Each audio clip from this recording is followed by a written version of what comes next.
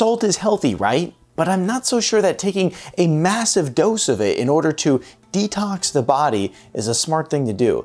Let's look into this, but before we get started, I'm Dr. Nick Zyrowski and I started my holistic health practice in order to help you take control of your health naturally because true health only comes naturally.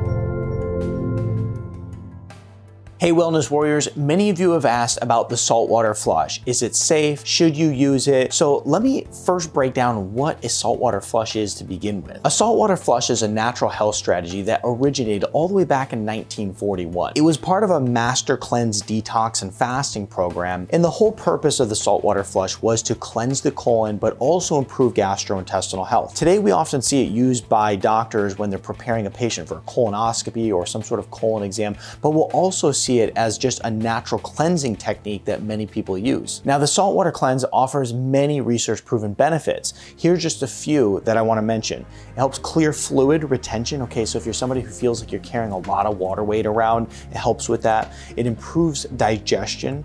It reduces inflammation in the body. It offers that colon cleansing benefit, which I'll get to in just a moment why this is. And it eases sore throats, removes toxins from the body, facilitates metabolic processes, and all also decreases bloating. Now, the saltwater flush is designed to have a laxative effect on your system. Therefore, if you're somebody who has a lot of bloating, if you have constipation, it certainly is going to get things moving. But if you're looking to improve your health naturally, there is a new way to do this without a wide-eyed emergency sprint to the bathroom. This video is sponsored by Celerity Vita ID. Get personalized vitamins sent directly to your door every month. How it works is you fill out an in-depth health assessment, pay a one-time formulation fee, and a nutritionist then reviews your assessment and precisely formulates daily vitamin packets made just for you. Stop guessing on what supplements you need, stop juggling between five different bottles, let a professional personalize a vitamin kit for you today. I personally use Vita ID, and let me tell you, if you take daily vitamins, this is a no-brainer. I'll put a link in the description below. Now, doing a saltwater flush is actually really easy.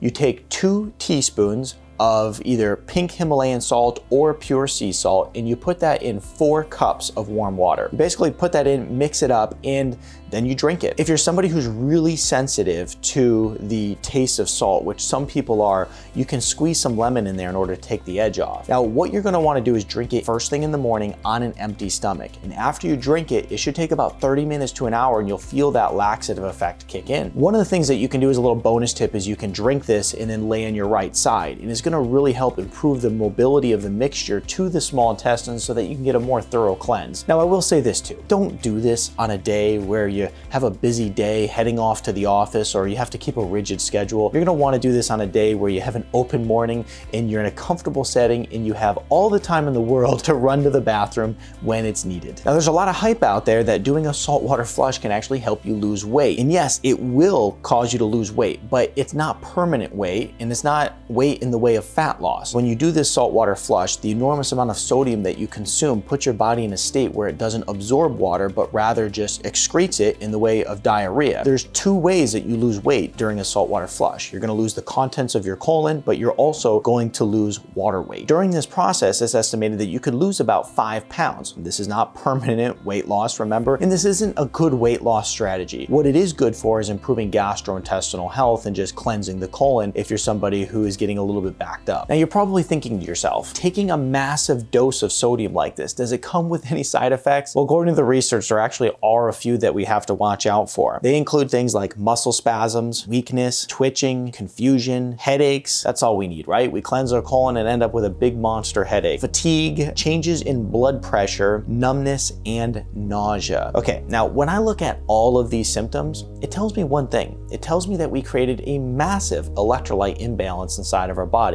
Every one of those symptoms equals electrolyte problems. There's a couple things that we can do. First of all, we could use like an electrolyte powder in order to help balance everything back out, that would be a very reasonable approach. Another thing that we could do is make sure we drink plenty of water in order to help get our system to absorb these electrolytes, get things moving around properly, create some balance in our body. There's another thing that we can do in order to help our gastrointestinal system as well. One of the things that we're doing here is we're flushing out all the contents of our stomach. And sure, you're gonna flush out a lot of bacteria. You're not gonna flush out everything though. Using a good prebiotic a good fiber and a nice, well-diversed probiotic could be really powerful in order to help improve gastrointestinal health. When I work with patients who have SIBO and different gastrointestinal issues, I'll use cleanses in order to help flush the colon, then follow that up with a really good regimen in order to boost your colon health. Another thing the research said that we have to watch out for with these saltwater flushes is a vitamin or mineral deficiency. I'm not really that worried about this. This isn't something, if you were gonna do it in the first place, that should be done on a regular basis. This should be something that is done on a rare occasion. And I think that after you do it, I don't think it's gonna be so fun that you want to keep doing it. I think you would probably go, yeah, let's do this on a very rare occasion after you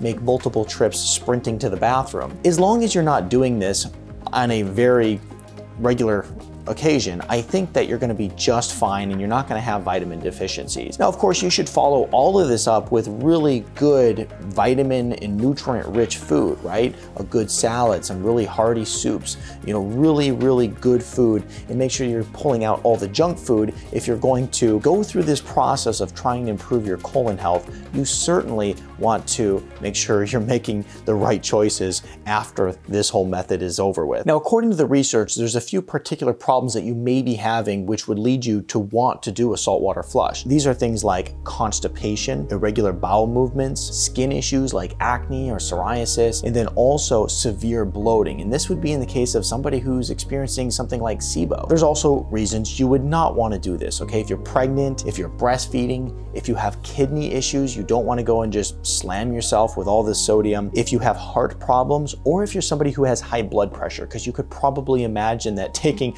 an enormous dose of sodium is not a smart thing to do when your blood pressure is already high. Now, my personal opinion of the saltwater flush is that I'm not a big fan of it, nor would I ever do one, or would I recommend it for a patient of mine. What I actually prefer over the saltwater flush is a vitamin C flush. And if you wanna learn more about a vitamin C flush, watch this video right here. It's really powerful for cleansing the gut, and that's how I was using it. I was using it while fasting. I was using it on the last day of my fast. It just helps cleanse everything out. You want to use a specific type of vitamin C.